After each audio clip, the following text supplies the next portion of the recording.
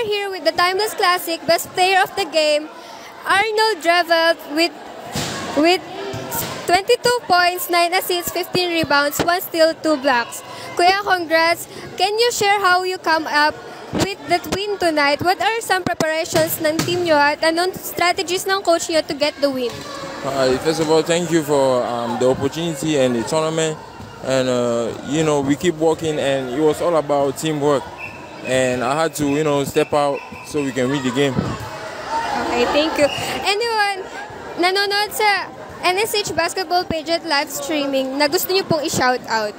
Ah, okay, yeah. Actually, I want to shout out to you know Cameroon, my whole people back then, and yeah, the love the, for the fun, the Filipino, and my whole team. You know, thanks for the you know the teamwork, and the president, and uh, you know, um, what do you say again? Salamat, Marami Salamat, sa Philippines. Yay!